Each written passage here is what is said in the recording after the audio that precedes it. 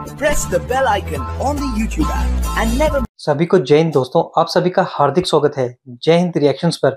आशा करता हूँ कि आप सभी लोग बहुत अच्छे होंगे। तो आज हम आपके लिए एक इंटरेस्टिंग और एक बहुत ही मज़ेदार वीडियो लेकर आए जिसमें आप देखेंगे आरज़ू काजमी और मौलाना साजिद रशीदी के बीच में हुई एक ज़बरदस्त डिबेट तो ये वीडियो काफ़ी इंटरेस्टिंग होगी, आपको बहुत कुछ जानने को मिलेगा और बहुत मज़ा आएगा। तो इसे अंत तक देखें और चैनल पर नए हैं तो चैनल को सब्सक्राइब कर दें, ताकि हम आपके लिए लेटेस्ट इंटरेस्टिंग और मज़ेदार वीडियोस लाते रहें। तो चलिए पहले ये वीडियो देखते हैं और अंत में इसके बारे में बात करेंगे। जय हिंद जय भारत। साथ हैं जी मौलाना साजिद रशीदी साहब और मौलाना साहब को सभी जानते हैं और डिफरेंट हम न्यूज़ चैनल्स पर भी उनको देखते रहते हैं और हमारे चैनल पे भी यकीनन आप लोगों ने उनको देखा होगा। बहुत शुक्रिया मौलाना साहब क्या जा पाए। थैंक यू सो मच मुझे ये बताइए मौलाना साहब के इलेक्शंस कैसे चल रहे हैं? आपने वोट डाल लिया? वोट कास्ट हो गया हाँ, आपका? मैंने वोट डाल लिया है।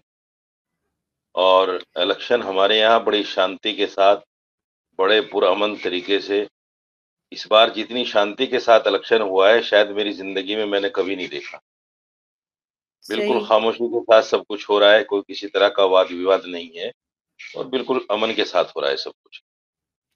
ऐसे ही होना भी चाहिए लेकिन मौलाना साहब एक आध खबर हमने ऐसी भी सुनी थी कि कुछ हिजाब में या बुरके में कुछ लेडीज़ गई थी तो उनसे कहा गया, चेहरा देखा हो ताकि आईडी कार्ड के साथ मैच किया जा सके?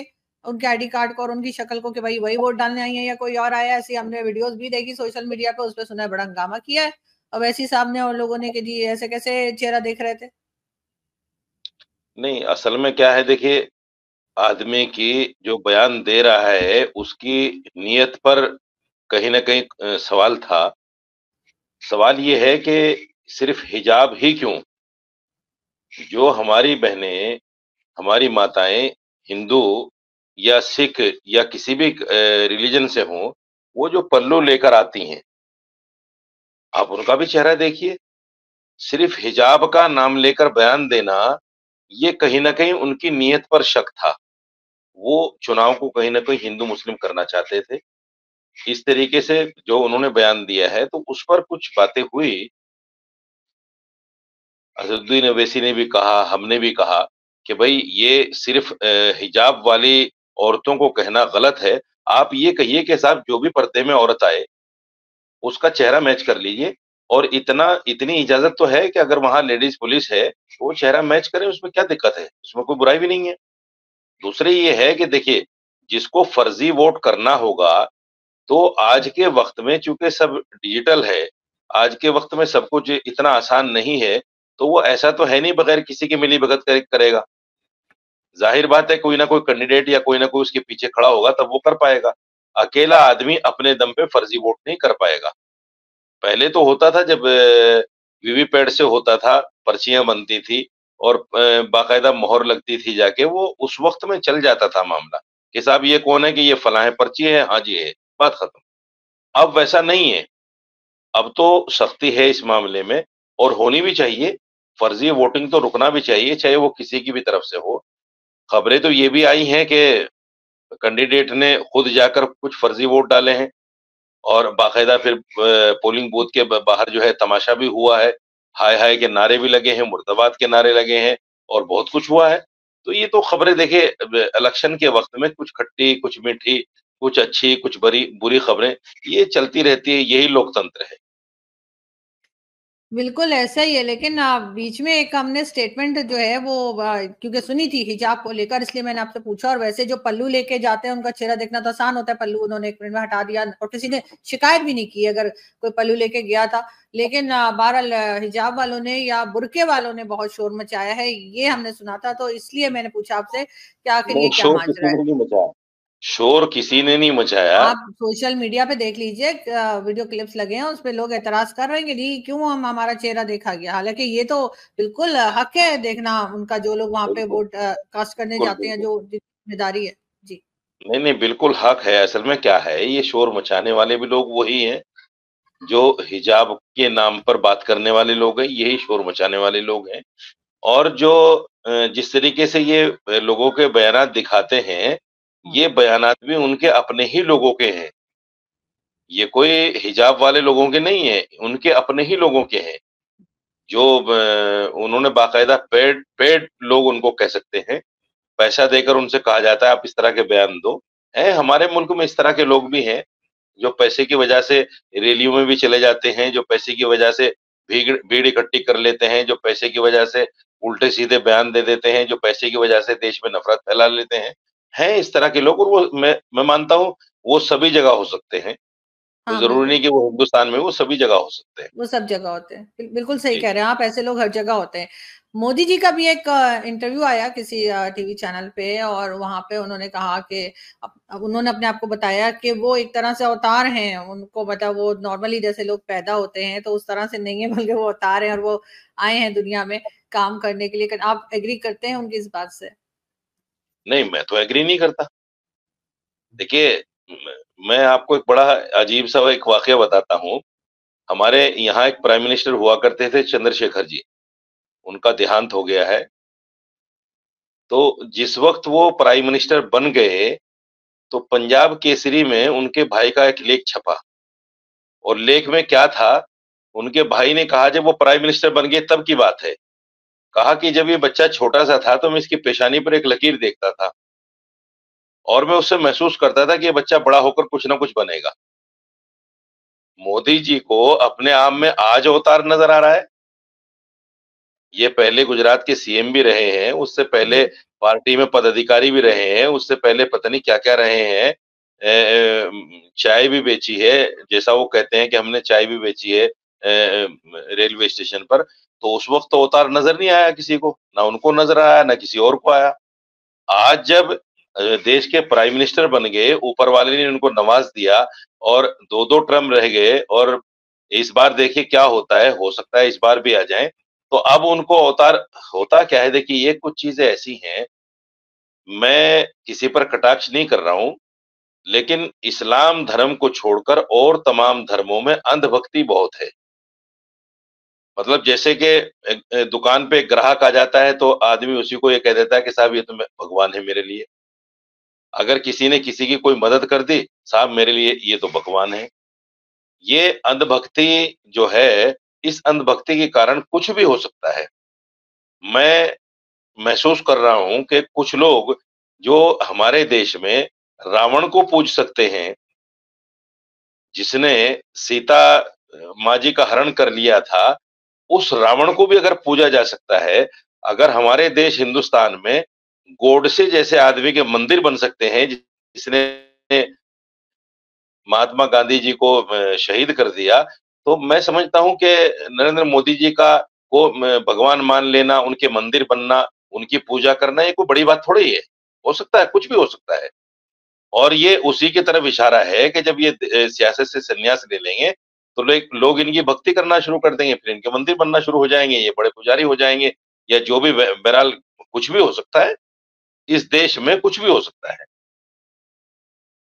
आपके ख्याल से इस्लाम में ये, ये सारी चीज़ें नहीं है? नहीं इस्लाम में तो देखिए देखिए इस्लाम में तो असल इस्लाम क्या है उसको जो आदमी समझता है वो जानता है कि इस्लाम में ये सारी चीज़ें नहीं है। कुछ लोग मुसलमान के अमल से देखकर इस्लाम को जानने की कोशिश कर, करते हैं। वो कहते हैं कि नहीं देखो जी इस्लाम में तो कब्र की पूजा भी होती है। इस्लाम में तो चौथा पांचवा दसवा तेरहवा और पता नहीं क्या क्या होता है। हाँ बिल्कुल होता है लेकिन वो इस्लाम में नहीं मुसलमान में है। वो मुसलमानों में है। मुसलमान ऐसा करते हैं। मुसलमान तो भाई शराब भी पी रहा है, मुसलमान तो जिना भी कर रहा है, मुसलमान तो न जाने क्या क्या कर रहा है। तो मुसलमान के अमल से जो आदमी इस्लाम को देखेगा, वो इस्लाम के बारे में कुछ भी ख्याल पैदा कर सकता है अपने मन में, कुछ भी कह सकता है कि भाई देखो इस्लाम में तो ये भी हो सकता है। हालाँकि वो इस्लाम नहीं। कबर की पूजा करना, कबर पे जाके सजदा करना, चादर चढ़ाना, उनसे मन्नतें मांगना, इस्लाम में तो नहीं है ये चीज़। इस्लाम ने तो इसको बाकायदा बिदत कहा है, हराम कहा है, लेकिन कर रहे हैं मुसलमान। इस्लाम ने शराब को हराम कहा है, लेकिन पी रहे हैं मुसलमान। इस्लाम ने जिना को हराम कहा है, लेकिन कर रहे हैं मुसलमान। तो ये जो सारी चीज़ें हैं, ये इस्लाम के बिल्कुल खिलाफ हैं, लेकिन मुसलमान कर रहा है। इसलिए मैं बार बार कहता हूँ मैं अपने देश के चैनलों पर बैठकर भी इस बात को कहता हूँ, और मैं आपसे भी कह रहा हूँ कि इस्लाम को कभी भी मुसलमान के अमल से तोलने की कोशिश ना करें। अगर करेंगे तो फिर यकीनन उसमें बहुत सारी बुराइयाँ आपको नज़र आएँगी। इस्लाम को कुरान से, हदीस से, फिका से, जिन चीज़ों को इस्लाम कहा गया है, उन चीज़ों से अगर मुवजना किया जाए, उन चीज़ों से अगर देखा जाए तो फिर इस्लाम की सही तस्वीर नज़र आएगी। और यही वजह है कि कुरान को पढ़कर, इस्लाम को देखकर, सुनकर लोग बड़े बड़े लोग बड़े बड़े साइंटिस्ट बड़े बड़े डॉक्टर बड़े बड़े इंजीनियर बड़े बड़े फलासफर जो है, अपने धर्मों को छोड़कर इस्लाम को कबूल कर रहे हैं। और हमारे यहाँ तो एक बहुत बड़े चैनल ने इस बात को स्वीकार किया है कि 2015 से लेकर अब तक 13 लाख लोगों ने इस्लाम कबूल कर लिया हिंदुस्तान में। और बाहर और, कितने निकल गए? उनका बताया इस्लाम से बाहर जो चले गए जिसने इस्लाम छोड़ हाँ, दिया उनकी तादाद इस्लाम को छोड़ने वाले की तादाद नहीं बताई उन्होंने। उन्होंने ये कहा कि जो हिंदू धर्म में आए हैं वो सिर्फ़ तीस हज़ार हैं। अब वो तीस हज़ार लोग कौन हैं? वो इस्लाम से आए हैं। या किसी और मज़हब से आए ये तो खुलासा नहीं किया उन्होंने। लेकिन हाँ इस्लाम को मानने वाले तेरह लाख ज़रूर बताए हैं उन्होंने। सॉरी तीस लाख ज़रूर बताए हैं। खैर वो भी तादाद पता होनी चाहिए कि बाहर कितने निकल गए। दोस्तों आशा करता हूँ कि वीडियो को आपने अंत तक देखा होगा और आरज़ू काजमी और साजिद रशीदी के बीच में हुई ये पूरी डिबेट आपको काफ़ी पसंद आई होगी और इस वीडियो में आपको काफ़ी ज़्यादा मज़ा भी आएगा जहाँ पे आपने देखा आरज़ू काजमी के सवालों में फंसते नज़र आए मौलाना सबसे पहले अगर हम बात करें वोटिंग की तो जैसे कि आपने देखा, मौलाना ने अपना वोट डाल दिया और बात की बुरखे के ऊपर जो शोर मचा हुआ है कि बुरखे के नीचे से नगमा नहीं, नाजिम निकल रहा है। जैसे कि मौलाना ने कहा कि सबका चेक होना चाहिए, चाहे वो घूंघट क्यों ना हो।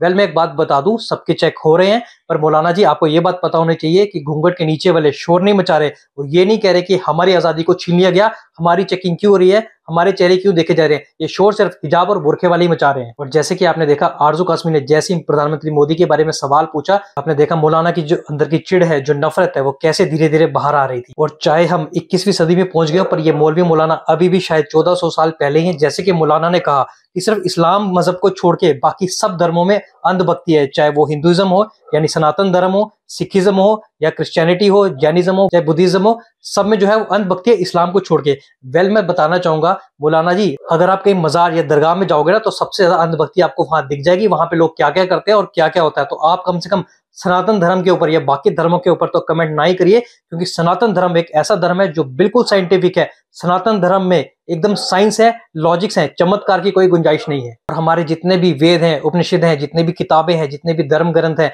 वो सब कहीं ना कहीं लॉजिक पे है, कहीं ना कहीं लिखे गए हैं और उसके प्रमाण मिले हैं और कहीं ना कहीं वो साइंटिफिक हैं। हमारी कोई भी किताब, आसमानी किताब नहीं है।